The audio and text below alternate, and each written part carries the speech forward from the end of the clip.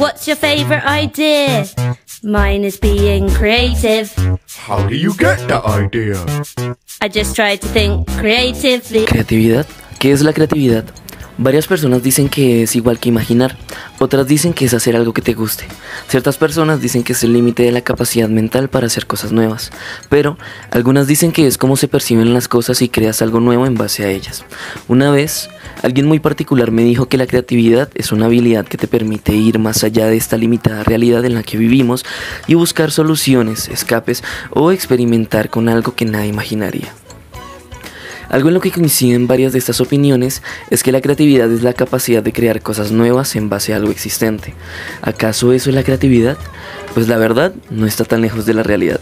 Según Kent Robinson, un reconocido experto en educación y creatividad, define la creatividad como la capacidad de generar ideas originales y útiles. Según él, la creatividad no es un talento que solo algunos pocos afortunados poseen, sino que es una capacidad que todos los seres humanos tienen, pero que puede ser inhibida por ciertos factores, como la educación tradicional, el miedo al fracaso o la falta de confianza en sí mismo. Robinson habla de cuatro factores para desarrollar la creatividad. 1 el elemento o el medio. Se refiere a identificar lo que más nos motiva, la pasión, el sentimiento que nos provoca el medio.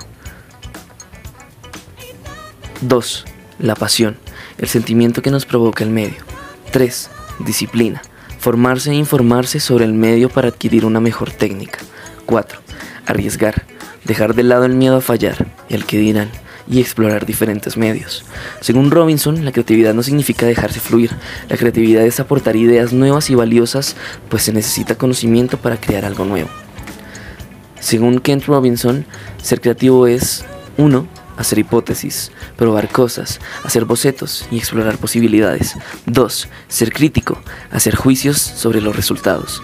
Pues ser creativo es un proceso material para el que hay que adquirir destreza y práctica para emplearlo pues no basta con descubrir nuestro elemento, hace falta meterle pasión y controlar tu elemento. No se puede ser creativo, dicen algunas personas, cosa que según Kent Robinson está totalmente errada, pues es una habilidad con la que contamos todas las personas, solamente que algunas personas no la desarrollan en su totalidad.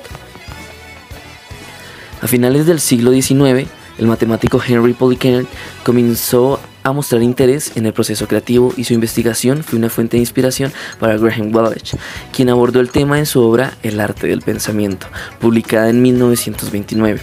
Wallach propuso cuatro fases del proceso creativo, las cuales fueron confirmadas por otros investigadores en el campo de la creatividad, como James Webb Young, aunque cada individuo tiene su propio proceso creativo.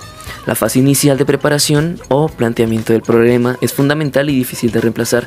Durante esta fase se recopila información sobre el problema a resolver y se consideran diversos aspectos del mismo para obtener una gran cantidad de datos. Según Einstein, la formulación del problema es crucial para plantear nuevas preguntas y considerar los problemas desde perspectivas diferentes. Son elementos importantes para los avances científicos aunque la suerte y la intuición pueden contribuir a los descubrimientos. Todo se origina a partir de una preparación larga y profunda.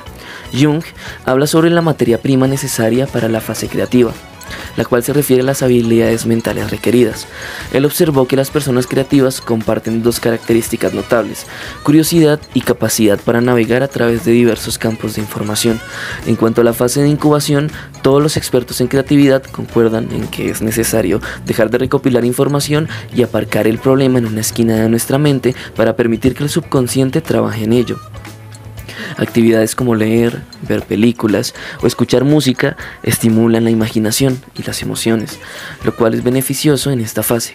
En la fase de iluminación, la solución surge de nuestro subconsciente y puede llegar en el momento menos esperado, como le sucedió a Arquímedes en el baño. Este proceso se conoce como el efecto eureka o el momento ajá.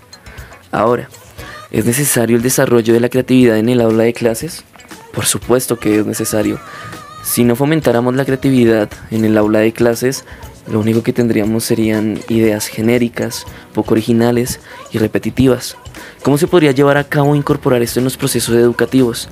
Siento que la mejor manera para llevar a cabo estos procesos en la educación puede ser por medio del arte o por medio del juego.